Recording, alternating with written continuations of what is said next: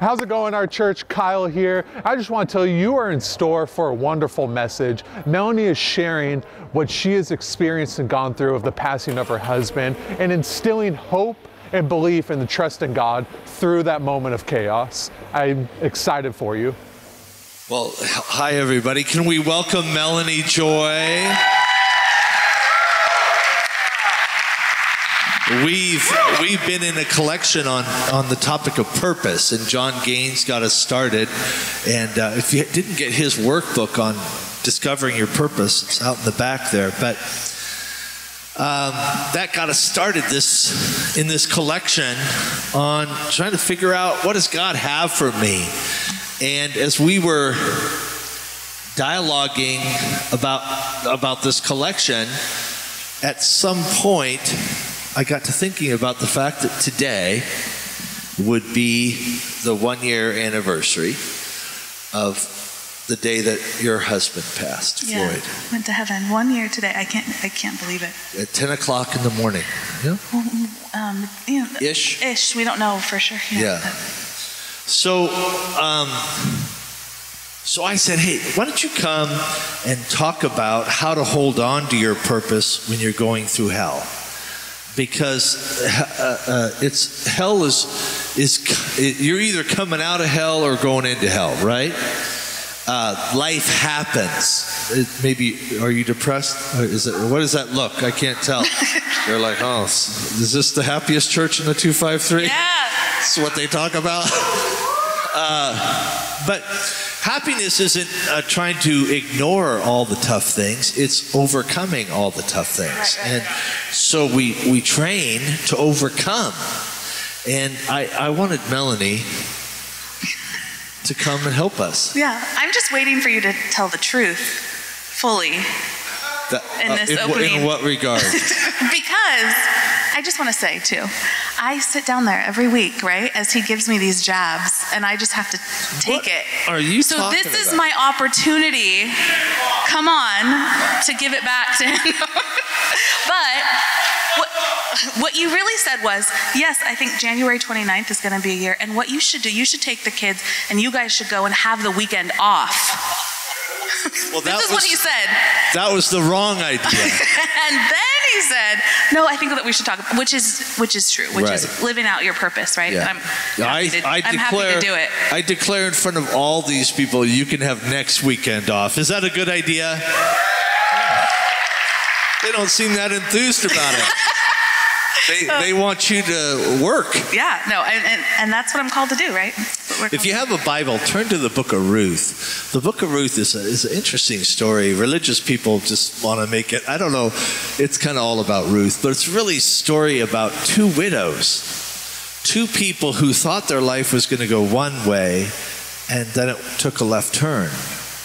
And there are two, I, there, I was reading it not too long ago, and I had, I, in both verses, I thought of you. Not just because you're in this season of learning to be comfortable with the idea that you're a widow, but because when I read it, I thought, oh, uh, that connects me to Melanie. The first one is in chapter 2. Can you show me that verse? Uh, no, that's chapter. Yeah. Oh, there we go. Ch- chapter one. And this is where this this one man Boaz is observing one of the widows, Ruth, and he says, "I I also," he says, "I know I know you're a widow, but I also know everything you've done for your mother-in-law since the death of your husband. I've heard how you left your father and mother in your own land to live here among strangers." May the God of Israel, under whose wings you have come to take refuge, reward you fully for all that you've done. And what I want to say, the first part I want to say is, I'm proud of you. And may God bless you for how you've handled this year. And I think a lot of us are proud of you who have watched you in this journey, okay? Thank and I know this is hard, all kidding aside. I know this is hard to tell this story, and I know you secretly resent me that I'm making you do it. But No, no, not at all. but the second verse, show me that other verse, would you? This is more about Naomi when she went home, the other widow, and she says, Don't call me Naomi. Instead, call me Mara, uh, which means someone in pain, because the Almighty has made life very bitter for me. I went away in full, but God brought me home empty. Why call me Naomi, which means blessed or whatever, when God caused me to suffer? And that, that painful, when I read that, I think, I wonder, I guess I feel like I know the answer, but do you feel bitter? Do you feel like God emptied you instead of filling you up? Yeah, well, there's parts, you know, of course, when it first happens, you feel numb and shock, and then you feel like, oh, God, you know, I, I said to you that day, I think, like, am I cursed? You know, what?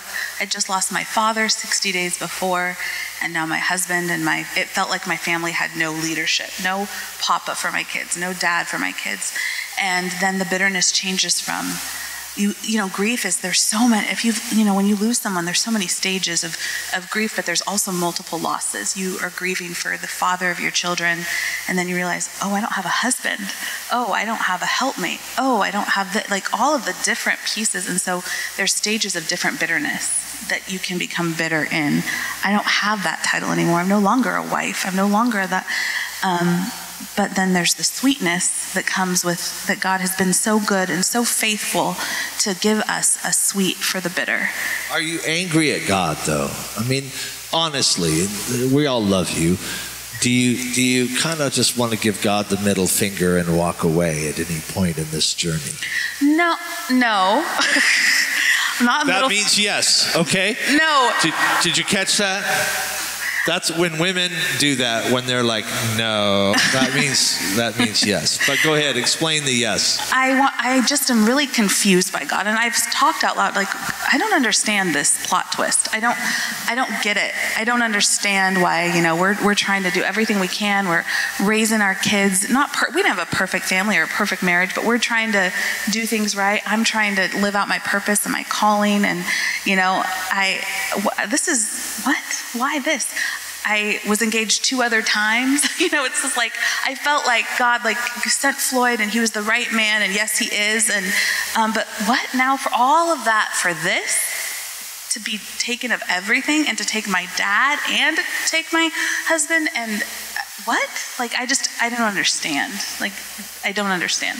I, I want to focus on purpose and how you kind of have held on to your purpose, even though your definition of yourself had to change. Right. But quickly, because you've made a lot of new friends this last year. Yeah. There are some people who have never, they never met Floyd. Yeah. They've never known you as, as a married person. So, uh, for people who don't know the story, what happened 365 days ago? Um, I came home. I was away for the night with my mom and my daughter, and we went to a girls' weekend in Seattle. And we came home, and Floyd had Giovanni, my son, three years old, by himself. And we're calling, and we're on our way home. And he was, I needed to get home to take over because he was headed to see a, watch a Chiefs game, go Chiefs. And um, and he wasn't answering, wasn't answering, wasn't answering. And I thought, oh, that's odd. Giovanni's giving him a run for his money. And then we pulled up to the house, and I couldn't get in the house. The door was locked from inside, but his car was there. And then I start pounding on the door, like, "Gee, Mom, Floyd." Because, because you, you start sensing this is weird. yeah, the blinds were all closed. You know, there was. We always open our windows. The the door, they weren't answering. And so I, I thought, okay, maybe he like fell, maybe something has happened, um, but I didn't know what. So I called 911. The only thing I need to do is call 911 to say I can't get in my house. My husband's in there. Something's going on, and I didn't know. My son was in there. What was giving, welling me up even more was that my son, my three-year-old son, was silent, completely silent on the other end of his mom pounding on the door. And um, so then I called you and said something's wrong. I don't know. Like I can't, you know, friend. I don't even know what I said, but something's happening. And um, the next thing I know, the police are there, and they're. I, Well, in one of the little miracles, I mean, there, there, this is a very sad story, but one of the little miracles is the guy, the, the officer who shows up attends here, yes. and he, we've known him for years. Yeah, And, 20 years. uh, so he's a friend. He's a friend, and he wasn't on the call. I Me- mean- meaning what? He wasn't the one they dispatched, but they he heard it. He heard it on the radio, Yeah. and he came because he knows you and loves Yeah. you. And so Victor shows up, and he and he's he's got your best interest at heart. Right. He knows you. He knows Floyd. And, Yeah. Um, and then I, I get there. By the time I get there, they've already found Floyd. Yeah. And Victor, in his wisdom, you know, I'm trying to run in the house, and Victor wouldn't let me. You know, there was already someone there that was like, You're not coming in this house. You know, he didn't know what was. And he went down, found Floyd, had died, and Giovanni was sitting next to him, perfectly still, three years old. And he carried Giovanni and put him in my arms. And, And the, he was okay. the miracle that he's okay, Yeah. right? And we had to say that a lot to each other, Yeah. okay? Because you get sad about losing That- Floyd. yeah. But as I said to you four million times, the baby's okay. Yes. Yeah, a And miracle. And this is a coping technique, by the way. You can use it. It's free. I'll give it to you. Uh, instead of obsessing about what you lost, rejoice over what you've got left. Because it's not, even that's not for sure, right? Right. And people that rehearse past losses get sadder. People that rehearse past victories get more motivated. And so, uh, hallelujah, the baby's okay. Yep, yep. And by the way, I said to you, I think at the time, if Floyd could choose between himself or Giovanni, he would have chosen Oh, himself absolutely. to, Absolutely. to go to heaven. Yeah. So, so that's what he would have wanted Yeah, too, if he had to choose. Yeah. So that's the story there. Yeah, and, and shock, and you know, and then we didn't know what happened, and found out through an autopsy, thankfully, that it was myocarditis. So it was instant, and you know, a lot of people have. Just dropped dead. Yep. And so from that moment on, what's the initial emotion? Two, give me two or three words that, uh, because you're not thinking, okay, well, I can do this. That's not your first reflex. Your No. first, No. the first response is, I'm not doing this. I don't want to do this. This is a mistake. And and you're numb. You're like, how is this? And I, I have said this to people, and I've then now repeated it to other people I've been able to walk through that this is as bad as it seems. Because you said that to me the next day. Because sometimes people. I wasn't trying to bring you down. No, no, Don't no, make no, me look bad in front of these people. But you need to be reminded. Some people think, you know, they think the world is, the sky is falling down, and it's not. You, it's a toenail, right? Right. And you got to keep going. And other people need to know this is bad, but um, you can you can do this. You can keep going. And I didn't feel like I could do it. I didn't feel like I could be a single mom. I didn't Yeah. feel like we could. Um, and so a lot of numb and bitter and Yeah. shock, and then turned into okay, how are we going to do this? My, uh, just I, I've been with, I've been, uh, you know, on the scene of suicides, car accidents. Uh, you know, I've been in divorce court with people, uh, DUI court. I mean, the nature of this work is you, you're there for the saddest moments and the happiest moments of people's lives. What I was trying to tell Melanie is, I think a lot of times when we're trying to make people feel better, we don't want to think about it, so we say dumb things. We say, oh, it's, it's okay, it's going to be fine. it wasn't going to be fine, right? Not, he's not coming back. It's as bad as it seems. The scripture says something that uh, to, to quickly agree with the devil so that you can overcome him. It's a very unique thing. When he makes an accusation against you, agree with him and say, That's right, I am a sinner, but God has forgiven me. Right? We don't say, No, I'm not a sinner. We agree with, with the truth, who, whatever mouth it comes out of. And then we build on top of it, right? So, what I was trying to help Melanie with is this is as bad as it seems. And the second part was You're going to thrive, and you're going to get through it. we're going to make it. Yeah, you're going to make it. But you're in that, I mean, I had so many crazy thoughts. You know, I wasn't sleeping for weeks. I wasn't, I mean, I think I said to you, I'm like, do, I hadn't seen him. I'm like, is he really gone? Do you think he's really dead? Do you think, I mean, I went through so many scenarios in my head that you had to have that jolt back to reality. And, um, and that and the good the sweetness is that you're going to survive that you're up and you're living and your baby's alive and there's purpose and you still have you have a new season It was there was humor in the middle of this. I have to say when she's saying, "Do you think he's really dead?" Like it's Tupac or something. You know what I mean? or i had a whole or Elvis. Like is he uh, like? I don't. I don't think he's. I don't think this is an elaborate ruse. I did ask you seriously. Yeah, though. I, know, was I know like, you were serious. I'm just saying it was funny. I tried not to laugh at you, but what? Thanks. Yeah. What? Um. What is it? This weekend it's interesting to me how many like somebody lost their dad. Uh, there was a family here last night. They lost their 23 year old son. A mom last night. Their 14 year old son died on a soccer field. Yeah. Uh, some people showed up last night high, uh, relapsed. Mm-hmm. You know, I mean, people Yeah. are going through stuff. Yeah, yeah. You said to me once that this has made me realize I don't have the corner on pain. Yeah. You don't. Yeah, I'm not the only one going through something. And then I think it wasn't even 24 hours after Floyd died. I didn't want to stay at the house, and so we were staying at the hotel down at Ruston. And I was in the elevator with the kids. This other family's in the elevator, other mom and son. And she said, "Oh well, you know, where are you from?" I'm like, "Oh, from Tacoma." Oh, are you here on a staycation? I said, "Yeah, kind of, kind of." You know, I didn't know what to say. I said, "What are you doing here?" And she said, "My home burned down last night, and we lost everything." And I'm here with my son, and we don't. I don't know what I'm doing here. I just had no place to stay. I don't know what to. It was during that time that Ruston, they had all that. The arsonist was going around. Don't make Ruston seem all these people who live in Fircrest and University Place. Have you noticed University Place people? They want to act like it's Beverly Hills. Oh. Ruston, they had an arsonist burning down houses. It is. It's a little nicer over here. I have to say. Is it? Oh, okay. Whatever. But she she stared at me, and I thought, oh my gosh, you know, this mom is here. She has lost everything, you know, that she thinks, and I felt like I Right. would lost everything, and I thought, the Holy Spirit said, yeah, you're not going to be the only one going through something, Yeah. little girl. Is this- Everybody. so is this is one of the takeaways for you, isn't it? Mm-hmm. That you, to find your purpose yeah. Before i mean I, I think a lot of people if they would have looked at melanie what's the smile for No, go ahead. Go ahead. what are you afraid of i think they would have said she had a charmed life right you're an only child you were well loved you don't want me to use the word spoiled but you Last hour was a little brutal, I have to say. But go ahead.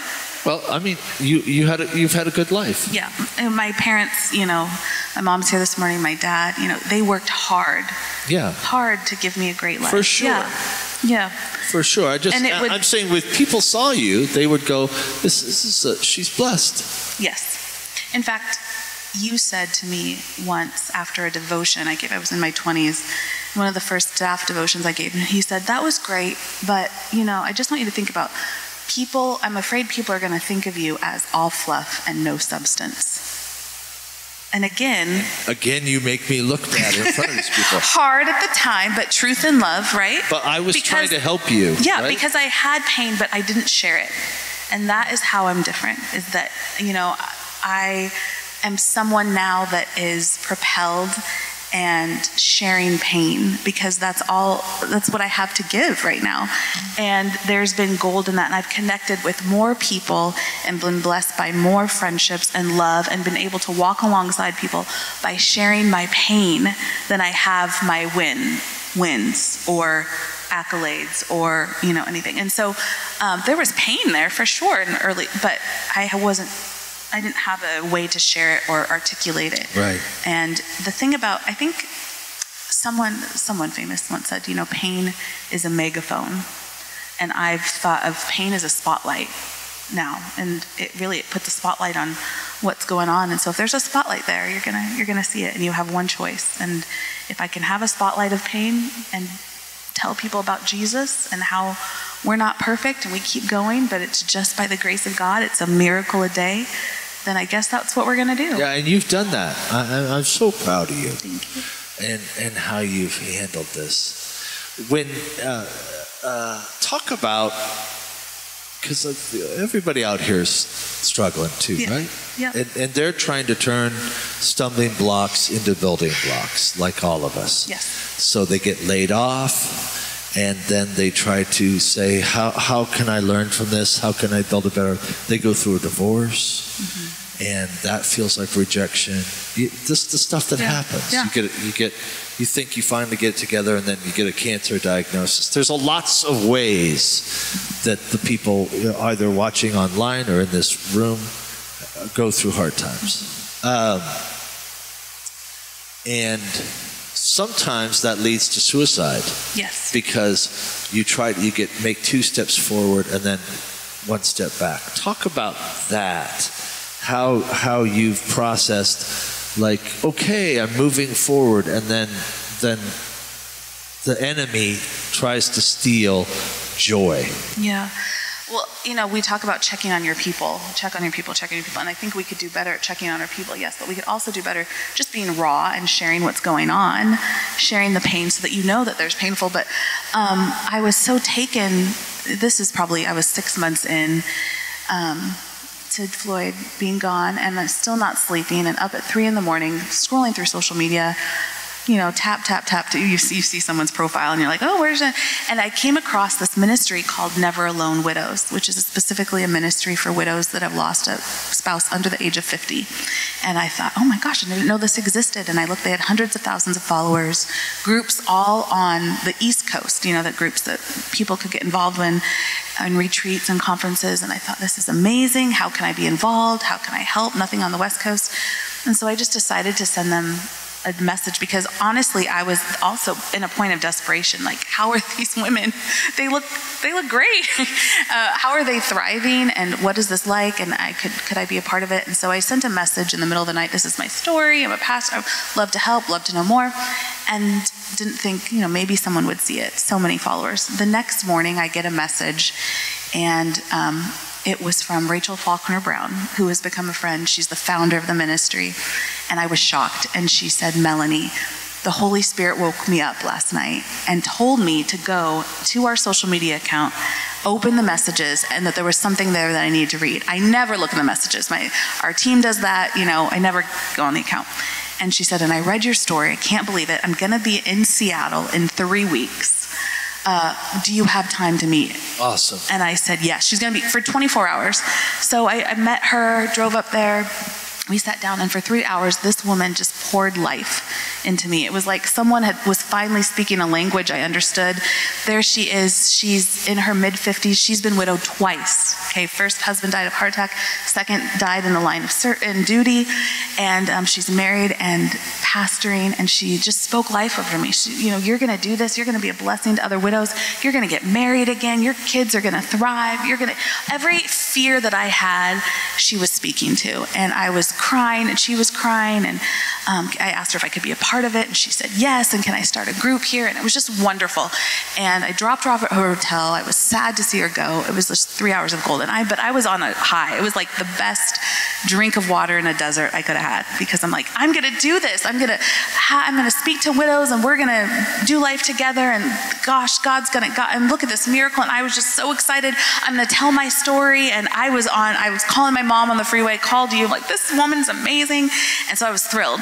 And then I came to church, and um, like life does, it just kind of hits hits you. And we had a guest speaker, and they're talking about their stuff. And he's, you know, he says, you know, Jesus asks us to care for the widow and orphans. And do you know why he asks us to care for the widow? And I am on the edge of my seat, and I'm so excited.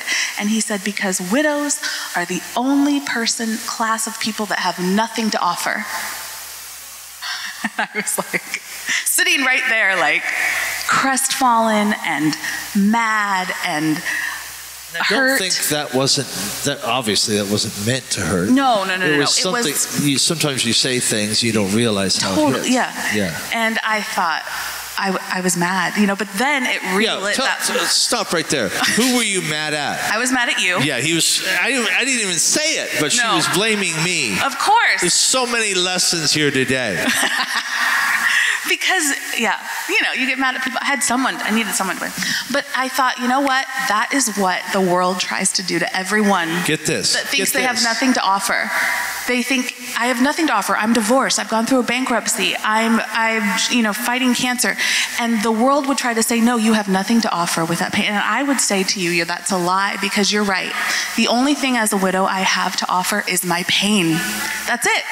And that is how I connect with people. And that's how you can connect with people. That's how we all can connect through, with people is through our pain. It's not through the things that have gone right. It's through everything that has gone wrong. And by the grace of God, we're up and we're breathing and we're doing one more day and believing for better and can walk through people. I have had the honor of walking alongside people.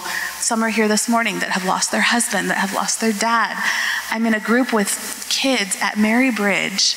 Um, they have a group called Bridges, and um, Donna, and she's she's one. She, her son went to heaven, and um, this this group in the Pierce County has a waiting list of kids to get into that have all lost a parent, and I'm in there with those women and those widows, and we all have something to offer. I have something to offer them that are sitting there with no hope. They've never heard about Jesus, um, and so if we could offer our pain and it was just a reminder and it was it lit a fire in me that i am good i have something to offer. Yes i do. And um, it doesn't look pretty but it's what i've got. And we're going to share our story and by the god we're going to keep doing it you know? You are a woman of substance. Thank you. You are. You are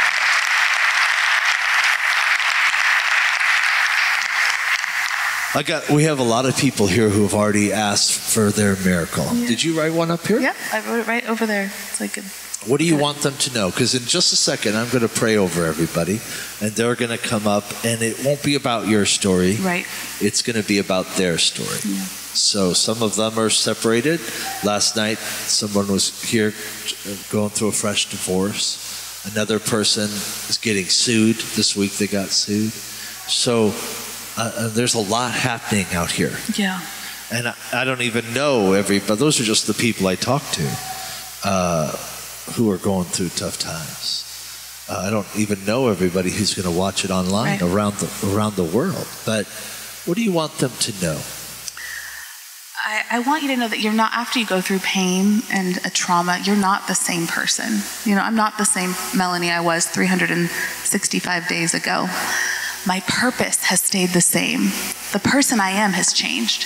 And so, even though you've gone through trauma, even though you're a different person, even though you've gone through that divorce or that depression, you, your purpose remains, even though your person has changed, right?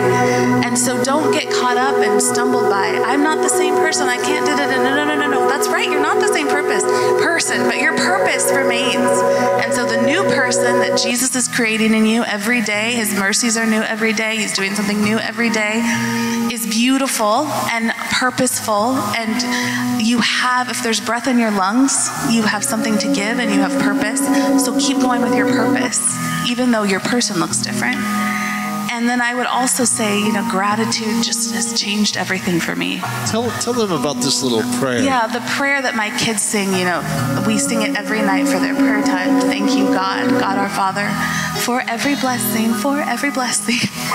And we sing it, my mom, the two kids, and I, we sing that as our prayer. And it has changed the way my children see life because we're thanking Jesus. We're in a, you know, we're there without daddy, but we're thanking Jesus for how good he is. Our talk time this last week, our grief talk time after group was talk about at the family dinner table, you know, everything that has changed, everything that's different since daddy went to heaven. And so I asked Rosary to list, you know, tell me everything that's changed. And I, I was ready for the list, you know, of all the things that were missing with daddy. The first thing was, well, the cooking is not the same. True. He was a good cook. He was the best. Yeah. I can only make reservations. Um, I'm trying. But then everything after that was well, we live in a house that's closer to school. We get to live with Gigi. I get to do this. Now I have new friends at Grief Group.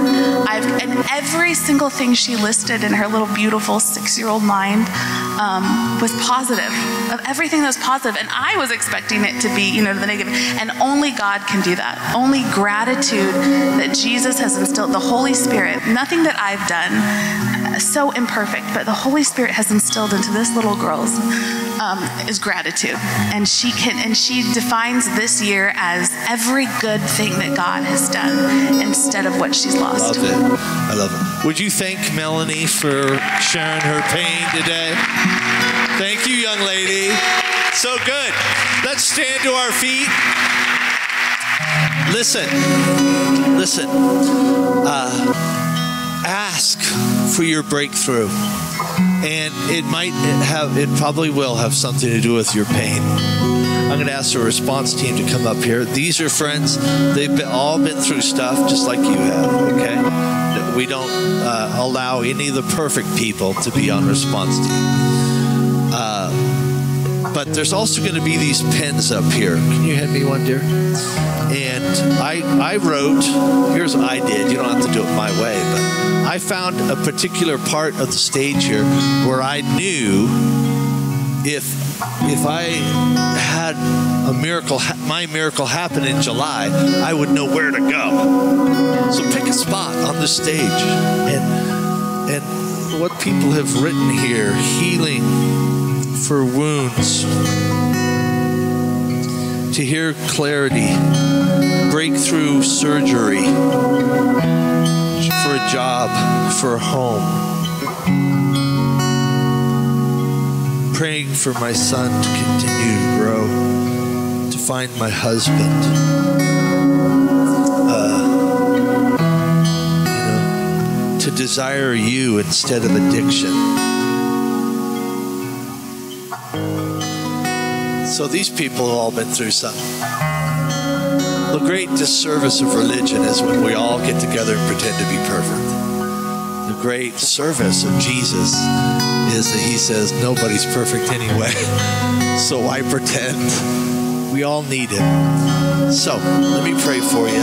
And I want you to go enjoy a great weekend. I hope to see you next weekend. But before you go, come and grab one of these pens. If you need to talk to somebody, talk to somebody. God, I thank you for Melanie I thank you for pain. Pain is, as Melanie taught us, is a megaphone to a deaf world. So may we use our pain to help other people that we don't have to live in grief. We don't have to live in depression. We don't have to live in anxiety. We don't have to live in poverty. We don't have to live in sickness. We go through those things. We go through those places, but we do not live there. We live in gratitude. We live in faith. We live blessed despite the circumstances. I pray a blessing on every person here, whether they're a believer, an atheist, an agnostic, a Buddhist, a Muslim, whatever faith they walked in with. May they walk out thanking Jesus, I pray. In Jesus' name. Amen. Make it a great day. Come up. I'm going to put this pen down. Grab one of these pens. Find a place on this stage. Come and pray with somebody. Make it a great day. What a phenomenal word from Melanie and Pastor Dean that was. I hope it truly inspired hope in you and impacted your life. And all experience long this weekend, we have people writing their miracles on stage. So in the comments below, I ask that you just write a miracle that you're believing for and praying for so we can partner with you. Love you, church.